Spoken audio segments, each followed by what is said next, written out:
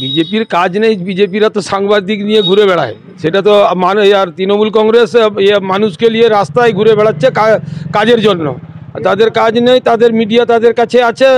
মিডিয়াকে কিছু খরচাপাটি দিয়ে দেয়, আর এবারে বলে কি আমাদেরকে না প্রচার করতে হবে।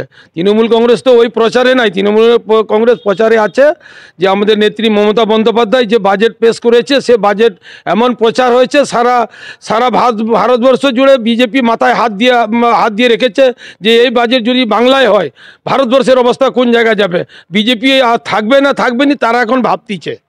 বিরোধী দলনেতা তার তো মুখের ভাষাই হচ্ছে কটাক্ষ। সে কোনদিন মিষ্টি কথা তো বলতে জানেনি। সে তো আগে আগে ছিল মুসলিমদের দিকে নাম করতো, আর এখন বলছে যে, বলে কি মুসলিমরা খারাপ, এখন বলছে রামের দিকে চলে গেছে। মমতা বন্দ্যোপাধ্যায় এখন নাকি মুসলিম হয়ে গেছে, খালা হয়ে গেছে, ফুপু হয়ে গেছে। তার তো কাজ হচ্ছে বিরোধী কথাবার্তা।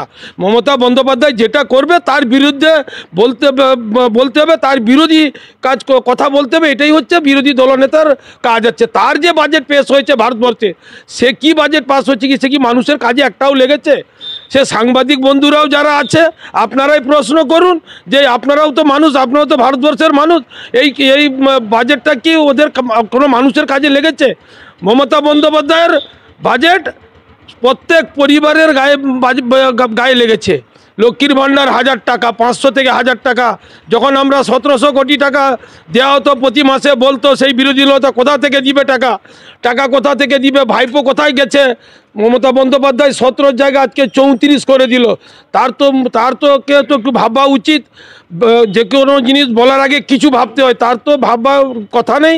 সে বিধানসভায় যাবে, ঝামেলা করবে। সে যাচ্ছে মিডিয়ার কাছে। মানুষের কাছে তাকে আসতে বলুন না। সে তো মানুষের কাছে নেই। ওই এনআইএকে নিয়ে ঘুরছে আর ইডিকে নিয়ে ঘুরছে সিবিআইকে নিয়ে ঘুরছে। তৃণমূল কংগ্রেস মানুষকে নিয়ে ঘুরছে। উন্নয়নকে নিয়ে ঘুরছে।